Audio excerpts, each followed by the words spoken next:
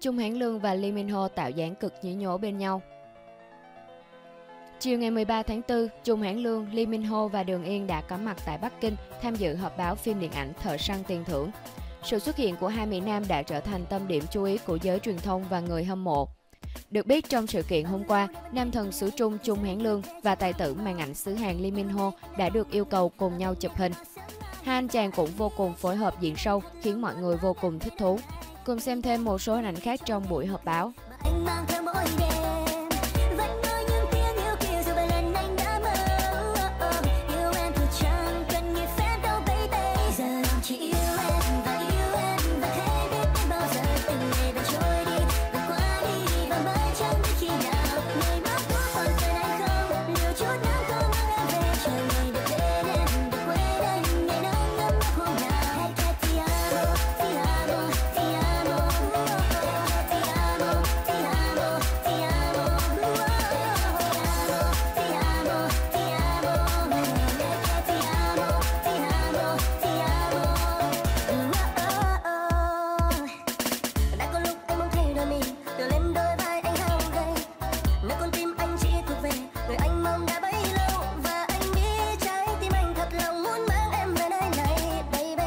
Cảm ơn quý vị và các bạn đã quan tâm theo dõi. Hãy bấm đăng ký để cập nhật thêm nhiều thông tin mới hơn. Xin chào và hẹn gặp lại.